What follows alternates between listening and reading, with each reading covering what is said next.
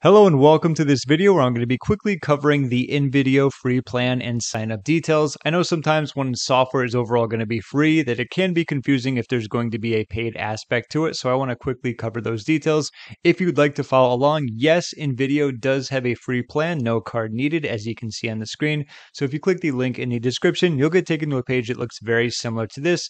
Obviously it can change over time, but it's going to be pretty easy to tell if you're in the right spot. You can click on the get started, it's free button or on the sign up here. Once again, could be in a little different spot, but should be pretty easy to find. If you do that, you can just simply enter your email, password, create account, and go.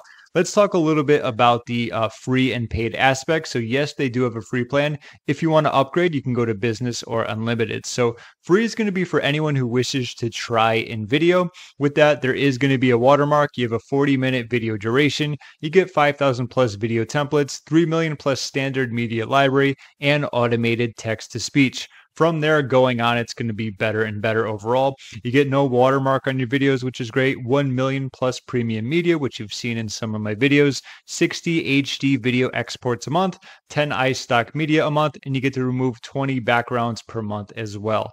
Going on up from there, obviously, is going to be unlimited. Once again, a lot of similar things, but just increased when it comes to the perks. So that's what InVideo is all about. They offer the freemium model, which I really like. You can test it out, get your free plan, and if there's going to be limitations to that, I can see why that and that's where you'd want to move to either business unlimited. So answering the question is InVideo free or paid? It's both. They offer the free plan for that. And if you want to upgrade, get some better perks, you know, overall create better videos, that's where the paid plans are going to be for. So I hope that answers your questions when it comes to signing up for their free plan, whether it's free or paid, it's both and just about everything else in between. If you have any questions, feel free to leave a comment down below. Also, the link for getting started with your InVideo free plan will be there as well. That about concludes this video. My name is James. Thank you so much for watching, and I'll see you in my next video.